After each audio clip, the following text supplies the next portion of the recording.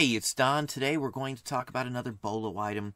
It's something odd and small that most people don't know what it is. It's actually just tiny little Kiddles, little Kiddles.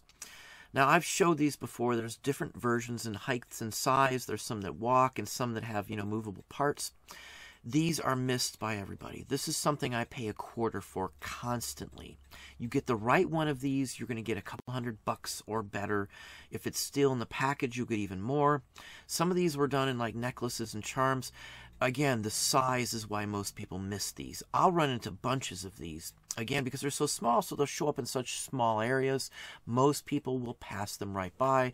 They're just a rubbery little figure. Some are harder plastic and such forth. But Kiddles i have sold for a decade.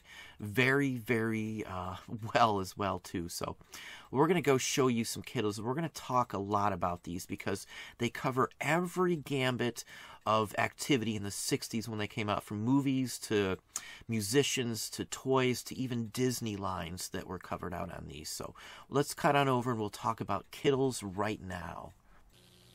Lucky Locket, Kiddles, Lucky Locket, Kiddles, Lucky Lockets are such fun. A tiny Kiddles in each one you will find if you check a chain to go around your neck. Lucky Locket, Kiddles, Lucky Locket, Kiddles. Wear them like a locket. Put them on your pocket. Fasten one in. Now, these are Kiddles. It's a Mattel product. Here's a perfect example. This is Alice in Wonderland. Again, if you didn't know what these were, you might have seen that rabbit sitting in a bag of toys on a wall and just thought it was some junk PVC or something like that. As you see, they're only just over an inch tall, a uh, couple inches at most for the most uh, average figure. So they're not just dolls to some extent. I know you'd think they'd only be marketed to girls, but there's a lot of uh, toys of these versions, or a lot of figures that would have been marketed to boys as well too. Disney characters, movie characters. Um, you know, rock stars and things like that as well. So let's show you some more. This one went for $151. These are from the 60s. You know, they haven't made them for years. They made a ton of them. They were very popular at one time all small, all the same size as you see right here. So again, these size ones show up in bags. Most people don't think they're worth much. This is a good area that you better darn well pay attention to because this area can make you some good money. Next one, just another one. This is Peter Pan, uh, Little Kiddle Peter. It's the same thing. It's Peter Pan, basically. You can see Tinkerbell as well, which is a smaller character. I'm not sure. Oh yeah, the the uh, alligator from it as well too. So perfect example. Now this isn't the Disney version. There's several different versions. There's even storybook versions and, and storybook dolls that were even knocked off by another company, which we'll show you in just a few minutes here. I think Hasbro made some copies. Now this is the Lunchbox Eatery. Um, 1965 Mattel. You can see the tray is, is really what the, the key part is in here, is the tray usually doesn't show up. But there's board games, there's doll cases, there's doll houses, there's vehicles. Anything that came in any of the other doll lines they made for the Kiddles. Just a lot smaller. Again, they're, they're fast rising in price. Most people miss them because of the size. So your size is working on your behalf. These show up in small areas. They show up in big bag lots of junk toys. And I can just get these and, and make my money out of it. Just a couple of them can make decent money. Let's move on here. Now here's the three-story house. They actually have the box. Believe it or not, a lot of these 60s toys you can still find with the box. This has some extra ones with it. I don't believe those Disney are from the same are from this line either at all. I think those are from another line of toys, if I'm not mistaken. They did make Disney characters too with this, but I, I honestly don't believe those are to this set. $495. Now here's some other examples of how they were done. Mostly if I see them still carded, they're carded like this. Some are in um, like uh, necklaces, and you open it up and there'll be one of the little figures. That was the size comparison. They had uh, necklaces and pendants and pins and watches and bracelets and soda bottles and ice cream cones and lollipops that all had a figure like this, a doll or whatever you'd want to call it inside of it. Here's one of the necklaces right here. This is animals. They made sci-fi sets for kids. They made fantasy sets, animals, um, you know, TV characters, the whole works. I Dream of Jeannie. Um, I think they even have a Munster set. It's kind of like Tinykins, if you know what those are, by Marx. If you don't know what Tinykins are by Marx, look up Tinykins and Marks and you'll see exactly what I'm talking about. That one was 250. Now here's one of the alien lines. They're they're typical of the the Kiddles. Cosmic Kiddle, Greeny Meanie. There's I think six or so of these Kiddles here. They have a vinyl um, like an outfit on on them. They're soft dolls. The hair feels typically like a vintage Barbie doll if it has hair. This line was one of the, the later ones too, so these sell fairly well, even out of the package like this. Here's a perfect example of the larger ones. This was a little larger than some. This is for Mitch Ryder and the Detroit Wheels. Now, they made a bunch of different Rockstar ones, believe it or not. They go for decent money. If you can find them sealed, they go for horrendously uh, a high amount of money. I've seen some in an eight, nine hundred range sealed in the box for these. So they're they're going up really quick on these. So I would really pay attention to them. Garage sale is starting. I find more of these at garage sales and just junk boxes than I find them anywhere else. So garage sales, estate sales would be second, and then my local live auctions would be third. Now here is some of the jewelry. Jewelry Kiddles were extremely popular. Um, and this is just a perfect example. Now this isn't one of the most popular dolls or figures, but it's still awesome to find it on the package. This is what I'm talking about. They, they made a, a useful thing so you could carry it on a necklace and you wouldn't lose it because again they were small. So they're they're combating the smallness was by making them come in a container that they could store them in there and you'd want to store them in there because it was the neat factor. It was almost like a, a transformer of the day because not only were some of these like a container for them, but then you could do something else with them or move them around and turn them into a playset when you opened them. This one's 325. Now here's a storybook. They came in like a like a little booklet kind of thing that opened up. Some of them had houses and buildings and sets that would come with it. This is Cinderiddle. Uh, just again a takeoff of Cinderella, and they have all these little parts. Even the little parts and pieces for these can go for money. Just like Barbie, you can sell an outfit for a little Kiddle some of the outfits go for 50, 60 bucks. Some of these little accessories, like the broom, can go for 75, 100 bucks. I'm going to show you an accessory in a few minutes here that goes for almost $200 from these. And it's just random items that you would never know that's what they are. Once you realize the size on certain items, you, you'll be able to take a better judgment on what things are.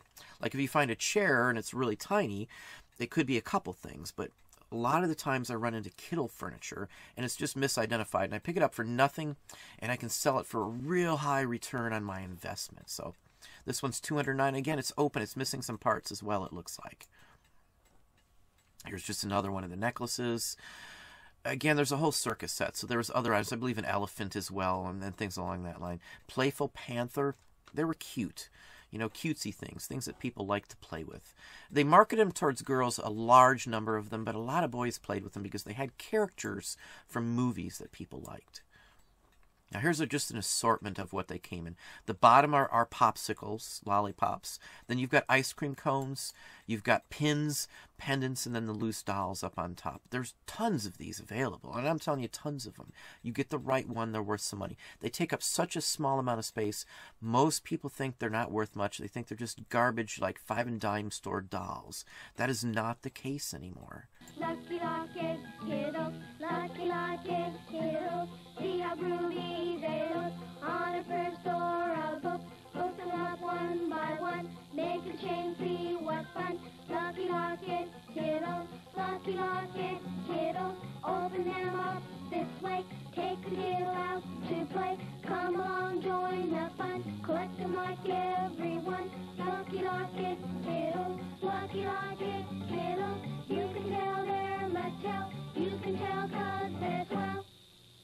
Here's a storybook Kiddle now. They weren't all carded like this. Some came in different boxing configurations and such forth that had other items with it than just the little booklet and the figure. Um, just another perfect example. They do have rooted hair just like the Barbies.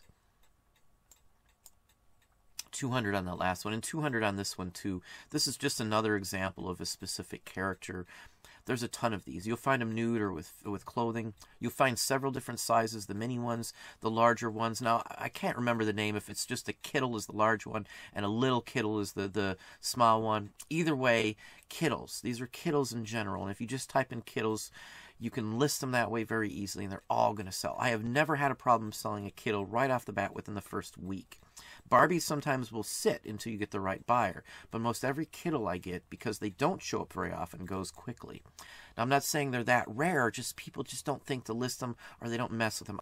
Obviously, if it's in the box, they're going to sell it, but the little ones loose on their own, mixed within a bag of something else, that's where I score my biggest profits, honestly, on these. 200 as I said basically on that one. Here's another one for 225.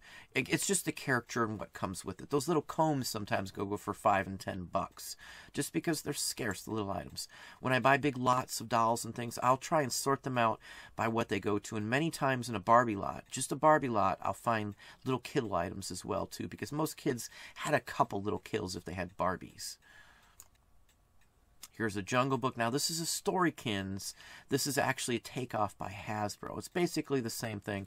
This is the front runner to like a modern day Star Wars action figure, the three and three quarters. These aren't quite that big, but it's basically where it was heading the toy market from what I've seen. Just another example. This one came with a record. Some did, some didn't. These all fit into the Littles category. And again, as you see, they literally wrote Littles Kiddles in the title. Technically, I do not believe you would call that that. And I know it's not in the price guide as far as I know. Now, next one here is a specific item. Now, this is just an accessory to this. I've had the wagon, not this color, unfortunately. This is the color you want. There's some items, just like every other toy line, that were only available in a certain catalog, and you could tell the difference by the color. Now, this may look identical to the other versions, but the color is the key to some of these. So, that was 180 bucks basically on that one just another one here, but this is a Sears exclusive, just like I was talking about. Many items back in the day, 50s, 60s, even in the 70s and 80s, Sears offered exclusives through their catalog. That drew you in, wanting your you know, to bug your parents to get you to go to just Sears to get your toys. J.C. Penney's had some exclusive items like that too, but Sears was much more known for doing that type of thing. It was a marketing ploy. Worked for them. They could pay the company who made the toys a little bit extra to do it, to make custom ones and things like that. And then made them scarce. Even a standard figure that was available at Sears wouldn't have been available anywhere else except through that catalog. So let's the next one here another one here. Again, there's a ton of them, a ton of different lines. Hundreds upon hundreds of these figures exist. Here's just another example. Perfume set. Again, they were made to look like a, a, toy that was just more than a toy. Some of them are flowers and cupcake figures that they've made in other lines and things along the line. A ton of these. These are real nice ones to get. I've had most of all of these, at least a couple of each one of these. I've had a, probably a good couple hundred Kiddles in the last few years, in all honesty. Just another example of the pins and the brooches and things along that line. There's a necklace on the far right, and then the actual same cologne bottles as well. Now, this was one of my favorite ones, and I can't I always mix up the name on this Upsy Downsy. Uh, maybe this was a TV show. I think maybe a, short-lived TV show like uh, the Crofts or something like that um, from the same makers again, they, they did whatever they could to make money, just like any other company did. $175, which is actually cheap for these in my book. Something like this, I might have been lucky enough to score for 10 or 15 bucks, in all honesty. That's about the average I'd pay for something like this. Because most people think they're small. A lot of people don't even realize they're that old. Here's just a Disney version. Now, again, they made Storybook and Disney. I believe this is another one of the Storykins. Yes, this is a Storykins, which is basically um, the same thing, just by a different company. This one has the record as well, too. 160 bucks basically on that one. Here is Chitty Chitty Bang Bang. Um, that is actually Dick Van Dyke's uh, character there. I don't remember the lady in it, but I do remember the movie very well. It was a musical. Benny Hill was in it, and I always liked Benny Hill back in the day. If you don't know who Benny Hill is, type in Benny Hill. Very funny British comedian. He's been in a ton of things. Um, nowadays, I don't know if it would be something most people would actually want to watch anymore. It had some more adult humor um, in it as well, but perfect example of these. This is why people miss them. The little tiny figures are much smaller than the one I showed you. And most people don't realize their characters, so some of the characters can go for some good money, like I Dream of Jeannie or Bewitched or something like that. I relate these more to like uh, Megos than anything else. And Megos technically aren't dolls. They are, but they aren't. Uh, just because many people, not just girls, collected these. I know they marketed them for girls, but you know there are many boys who played with these because they liked the toys just as well as you know the girls did. They were neat. They came with accessories and things like that too. So 150 on this, and I just have one more here. Now this is the soda bottle. The first Kiddle I ever got was actually in a soda bottle just like this, and there's knockoffs of these two. The knockoffs sell almost as well. This is a um, I guess one of the more generic packages that I've seen. Some of them are much more fanciful than this. Has a few issues on it too, but 175 bucks. So, you know, you've got to keep an eye out for this. You've got to branch out. These are going up fast in prices. I've seen the prices steadily go up. I still find them all the time. And I do mean all the time. If you get out, you see enough stuff, you go to enough auctions, estate sales, and garage sales, you're going to run into these are you going to be the one that's going to buy them or not? That's the problem. That's your choice at this point. I find them for a quarter all the time. Little bins and baskets up by the front counter of stores constantly. So just keep that in mind. Most people miss these. Well, there you go. That's another item that I look for. Hopefully that gave you some ideas and some thoughts. If you enjoyed the video, please hit the like button down below. You can also hit the bell icon to be notified when I post new content or go live. Subscribe and tell a friend.